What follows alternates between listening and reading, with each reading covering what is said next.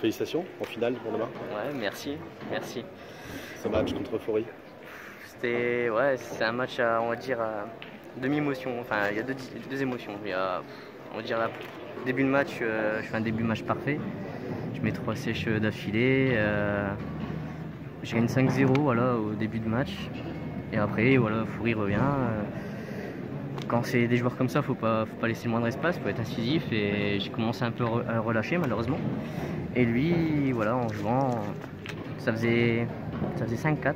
Il rate un noir du, du 5-5. Et donc j'ai gagne 6-4 et je mets, une ferme pour gagner. C'est une bonne petite journée, c'est une belle surprise pour moi. Enfin, on verra. Enfin, je suis content. Franchement, je suis content. Il y a rien à-